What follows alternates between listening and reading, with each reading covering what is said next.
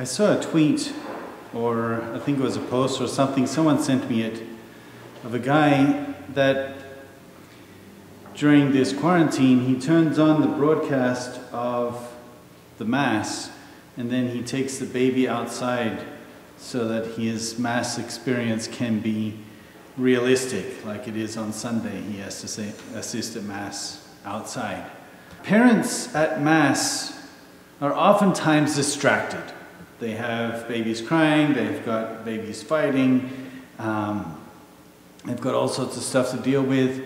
And sometimes people will say, after all the children are growing up, that they found uh, an opportunity of peace to be able to assist at Mass without distractions. There's different kinds of distractions. Some are voluntary, some are involuntary. But the fact is that many of us have many distractions, and they come at the worst times. We don't want to be distracted in our prayers, and yet oftentimes we are distracted. It's part of the reason for the bell. We are entering an important part of the Mass, and the bell rings so that we will not be distracted. Why are we distracted? Well, there are many reasons, but a big reason is because we give free rein to our imagination. Now, there's a time when our imaginations can roam freely, when we are dreaming. Our imaginations can do whatever they want. But otherwise, our imagination should be serving us. Sometimes our imagination helps us get knowledge that otherwise we wouldn't have. It can piece together a picture of something that we haven't seen so that we can get an idea of more or less what it would look like. For example, if I were to tell you the Botafumeiro, the Botafumeiro, yeah, the Botafumeiro I'm having difficulty even pronouncing the word, so I'm sure that many people who are watching this right now have no idea what a Botafumeiro is. Those of you who have been to Santiago de Compostela, St. James's Basilica in Compostela, probably know what it is. But those who have not been there at the right time, when they're actually using this thing, have no idea what it is. However, I can describe it to you. It's a giant, giant thurible. Now, you all know what a thurible is. We just used one at the benediction to put the incense in, and we offer the incense to God in this thurible. The Bota Botafumeiro is basically a giant, giant thurible. And there are priests that their only job is to swing this giant thurible. And they will come to the Basilica of Santiago at certain times of the day, on certain days of the week. And there will be, I believe, five or six of these guys. And they will uh, begin the swinging of this thing. And some could call it a sport, some could call it a devotion, some could call it a distraction. However, they really get into it, pulling on these huge ropes back and forth among them, saying heave or whatever they say to, to get in synchronization with this thing. And eventually, this giant thurible starts swinging the full length of the basilica down one aisle, back to the center, down the other aisle, back to the center. And this thing picks up some speed and it becomes a massive projectile. So, using your imagination, you have now kind of developed what this thing is. And you could take it a step further. They say that when something tragic is going to happen in society, the Botafumeiro breaks loose and disaster happens. And it's broken loose, I believe, twice in history and gone flying through the basilica and landing and causing damage. But each time it breaks, something tragic happens in history. I believe one of them was when King Henry VIII uh, divorced his first wife, or something like when she was going to get married to him. She went there first to pray at Santiago de Compostela, and that day the Botafumeiro broke. So that was one occasion. But at any rate, our imagination, that's where I'm getting at with this. Our imagination can also help us to pray. For example, during the Rosary, you can picture the coronation of our Blessed Mother. All we can do is picture it because none of us have been there. And yet we can use our imagination to create the scenario of Our Lady's coronation, and then we can meditate on that decade of the Rosary. So the imagination is very powerful if we use it well. If we don't use it well, or if we leave it alone, it's very much like, like a tiger in your living room, a raged tiger in your living room. Make a little bit of a mess. Now, the best way to calm our imagination is just not to give it images to look at in the first place. And the way to do that is by doing what they call the custody of the eyes. Custody of the eyes is a practice where you refrain from looking at things, either good things or bad things, so that you can keep a certain purity of heart. Now, some things go without saying that you should not look at them. And by looking at them, you defile your soul and you fall to sins of impurity. Yes, that is one level of practicing this custody of the eyes. We should not look at anything that will defile our impurity.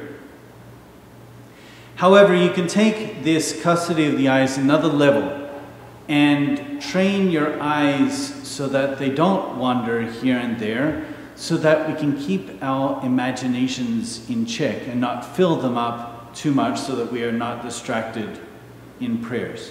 And we talk we, we see saints who really took this custody of the eyes, this practice of this virtue, to the next level.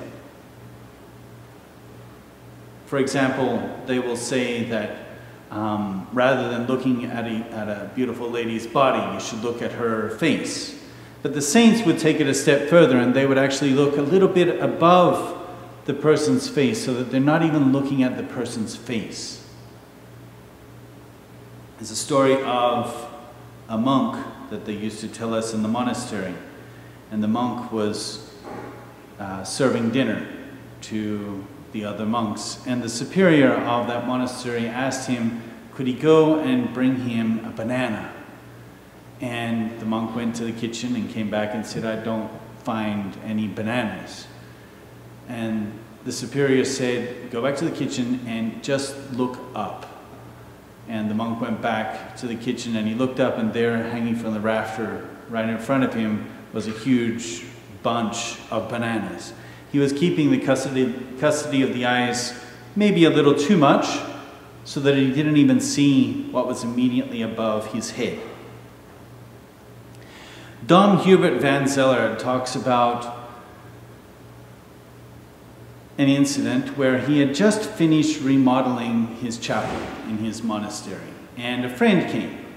And he wanted to show his friend the remodeling that he did in his chapel. He was pretty happy with how he had made the remodeling. It turned out quite beautiful. And he wanted to show his friend. And so he asked his friend, Do you want to go see the chapel? The, the friend, the other monk, came out of the chapel after 20 minutes. Dom Hubert said, Well, what did you think?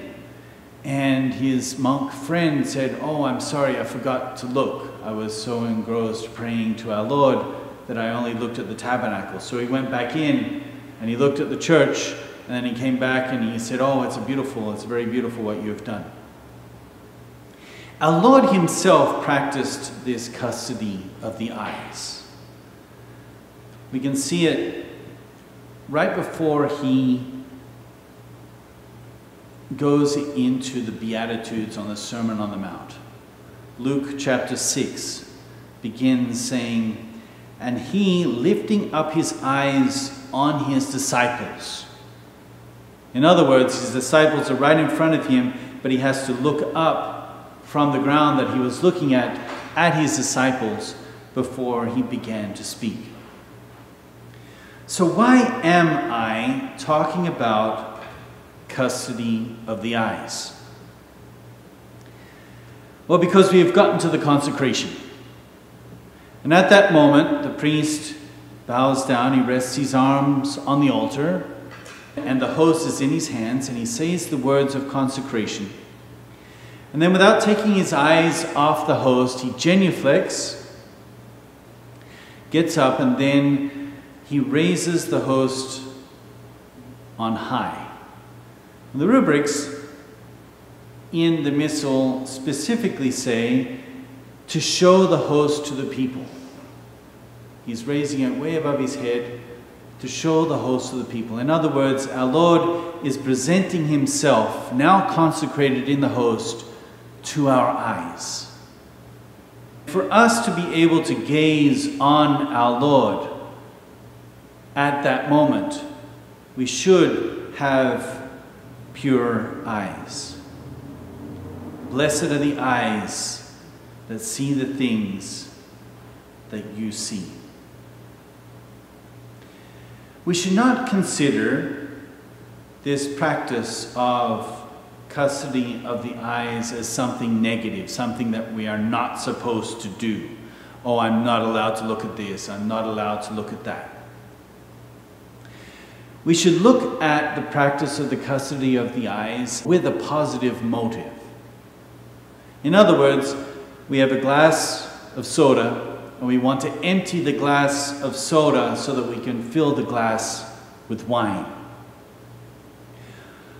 All these things that we look at when we are not practicing custody of the eyes, they are all things that are of this world, here and now. They are not ours. We are passing through. We are on a journey. We are not stopping here. Not stopping to smell the roses, to continue on because we are on a journey. We are going somewhere. And we need to get to the destination. We are refraining from enjoying the moment so that we can look forward to the destination. In other words, we practice custody of the eyes to remove the things that distract us so that we can find the things we hope for. To remove the things that distract us so that we can find the things we hope for.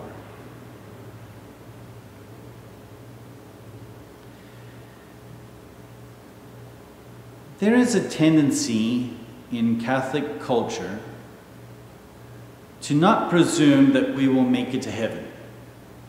And sometimes that translates into a fear. Maybe I'll make it to heaven. Maybe I'll make it to purgatory. I'll be lucky if I get into purgatory.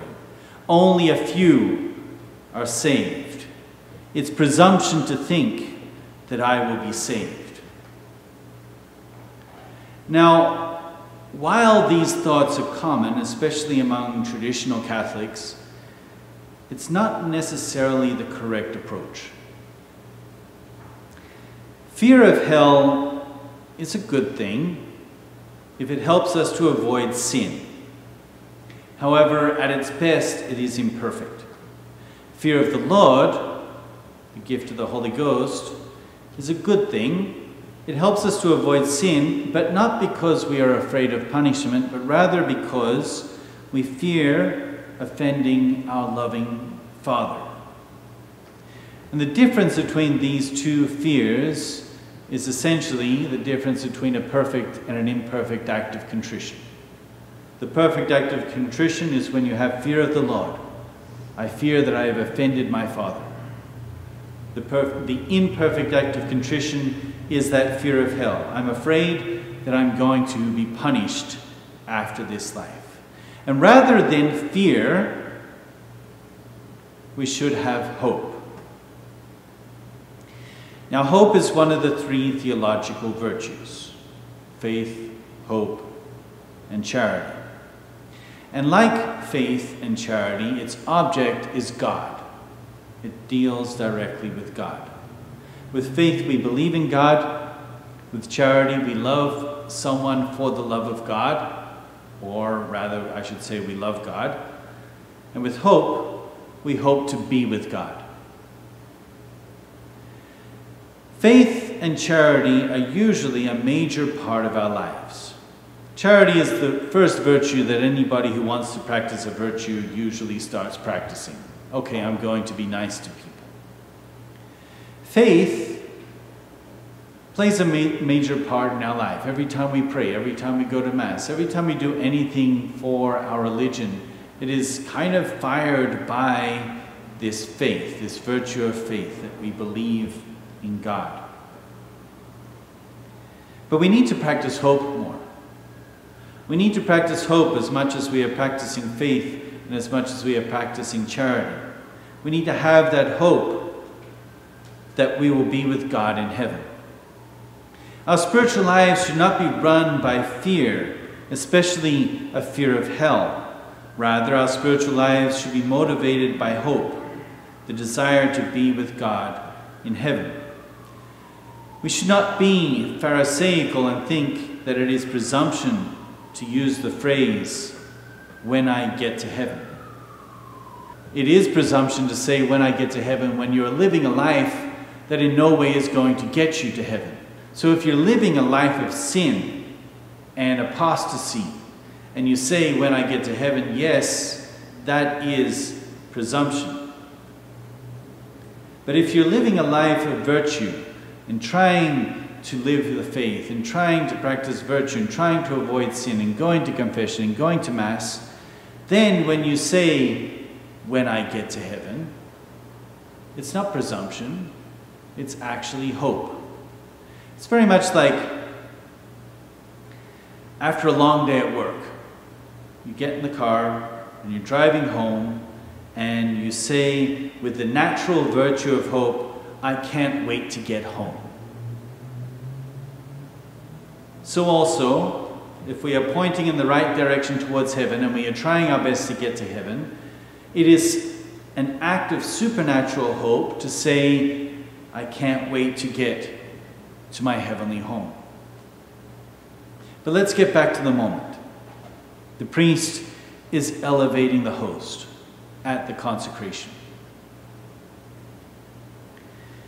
And the priest is raising the host for us to look at, to behold, and adore. Just as Simeon in Luke chapter 2 gazed upon the divine child and was filled with hope, now you may dismiss your servant in peace, because my eyes have seen thy salvation. Just as Zacchaeus saw Christ from the sycamore tree, this day salvation has come to this home. Luke chapter 19. Just like St. Thomas saw the wounds in Christ's hands and side and exclaimed, My Lord and my God. This is the moment of the Mass that gives us hope. So that we can live our daily lives trying to practice this virtue of hope as best we can each day, hoping to get to heaven. Each time we pray those evening prayers, maybe make an act of hope, hoping that we will get to heaven one day. And then when we come to Mass and when the priest raises the host, we can look at the host, and that is the moment when we express that hope. As our Lord said, if I be raised up, I will draw all things to myself. When Christ was raised on the cross, he drew all things to himself because he opened the gates of heaven. He offered himself to the Father. When, when the host is raised on high, Christ offers himself to the Father and draws all men to himself. This is when our hope makes sense.